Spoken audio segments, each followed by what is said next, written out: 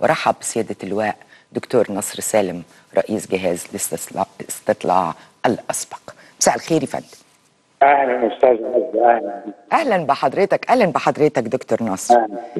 ال- المعنى مختلف الإحساس مختلف بيوم الشهيد عند رجال القوات المسلحة. مفيش شك. يعني هذا اليوم إحنا مش بنكرم فيه الشهيد ولا بنكرم أهله.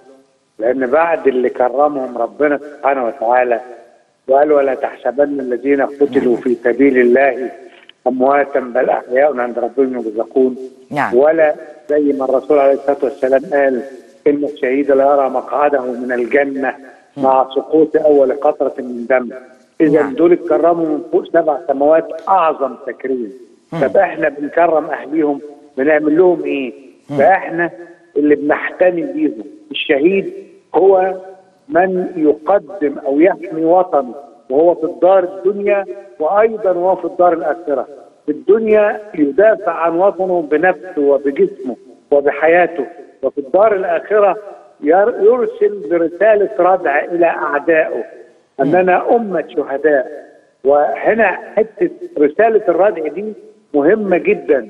يعني هي نفس الرسالة اللي أرسل بيها خالد بن الوليد رضي الله عنه منذ 14 قرن من الزمان لكسرى فارس لما كان بيقود جيش المسلمين عشان يفتح بلاد الفرس فرد أو بعت له كسرى فارس يقول له ارجع يا خالد فإني ملاقيك بجيش أوله عندك وآخره عندي.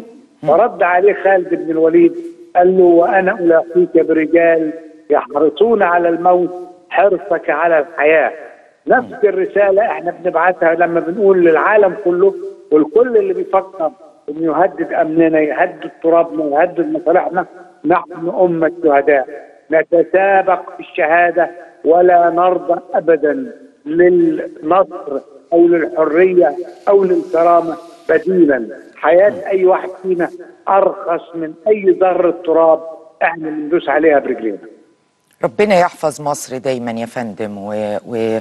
ويحفظ آه، قواتنا المسلحة يا رب ويحميهم. آمين. آمين يا رب. اشكرك يا فندم. اشكرك يا دكتور.